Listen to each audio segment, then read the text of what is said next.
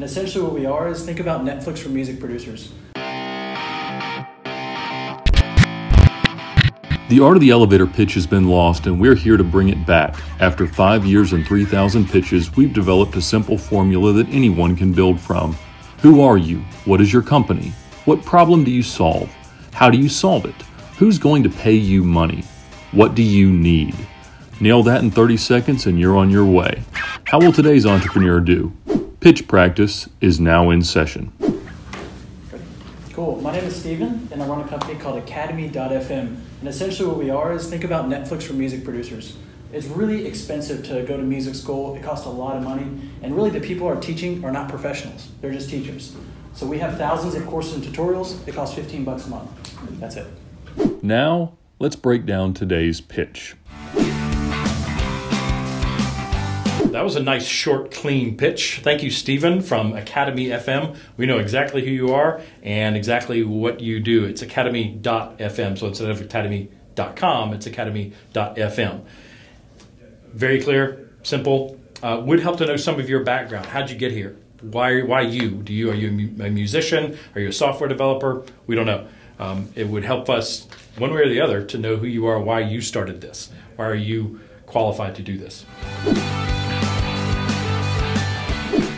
Stephen's very clear about the problem. Um, he may be may have stepped on some toes there, and that's okay. If you're not stepping on some toes, you're not going out of bounds uh, enough. Uh, the problem he said was it's expensive to learn music, and when you go to a music school, you're learning from teachers, not music, not musical professionals. So he was stepping on the toes of music teachers there, um, and I guess maybe he had a bad experience. I don't know, uh, but you're not learning from rock stars; you're learning from teachers. Uh, that's his point. Whether I agree with that or not is, is irrelevant. Um, that's his stance, and that's what he's building on. So the problem, very clear, it's expensive to go to music school. I love the way he grabbed that analogy for his solution Netflix for music producers. And then he said, We have thousands of courses and tutorials, and it's 15 bucks a month. So, very much like Netflix, you know, 8, 9, 10 bucks a month, and you get everything you want. Same thing here at academy.fm, thousands of courses and, and, tutorials on how to play different instruments or how to uh, make different music um, for 15 bucks a month flat fee. However, he said it's Netflix for music producers. I totally disagree with that. It's Netflix for musical students. Anybody who wants to learn how to make music, how to play a specific instrument. So you can be just a little clearer there. The point here is your words matter. Producer is very different from musician or music student. Very different. So it's Netflix for music students, or Netflix for people who want to learn music, Netflix for people who want to use learn how to use a musical instrument. And then he could have named a few of them, but he didn't. Anyway, you get the picture.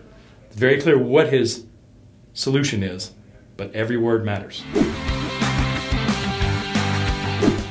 We don't know who his customers are by his pitch. We can assume, and I think accurately infer and be comfortable in doing that, that his customers, the people who are paying that 15 bucks a month, are people who want to learn music. Now, does that go from age 10 to age 99? I don't know. Uh, I imagine if you dug into his metrics on his customers, you'd be able to tell there's probably a, some specific demographics there. I don't know what they are, but um, if there's an ideal customer profile that he has, and um, he later told us that he has literally thousands of paying customers. So uh, if he could dig into those those customers, get a little bit of demographic information, then he could uh, target his future band of customers very, very easily. So we're inferring, we're guessing from his pitch that his customer is uh, anybody who wants to learn how to play music, which can be anybody. We can all learn it. It's a great thing for your brain. What did Stephen ask for? He didn't ask for anything, nothing. So does that mean he doesn't need anything? I doubt it. He wouldn't have been there if he didn't need anything. And he didn't ask for help, didn't ask for referrals, didn't ask for anything. He just stopped. So I don't doesn't really matter what you do or what stage of your businesses are. You always need something. You know, if you're Apple, the, the most valuable company in the world, you need something. You might need new talent. You might need um, you know new forms of innovation. Uh, you may need new new technology. They're always acquiring companies. Uh, so you need something. So you take it way down to a, you know a startup that's got you know a few employees. They need something, and if nothing else, You want your audience to do something. So if you're not asking for something that you need, you at least have a call to action.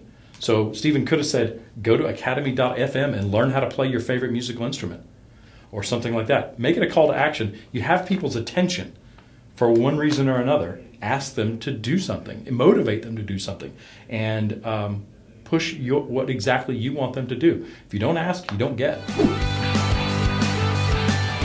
Stephen, thank you for coming to pitch practice. We really appreciate you coming and sharing your business with us, and we wish you the best of luck.